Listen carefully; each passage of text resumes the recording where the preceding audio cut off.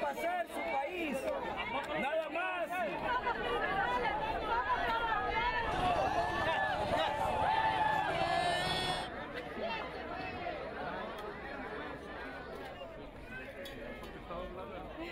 con sus hermanos, morir en un país de hambre,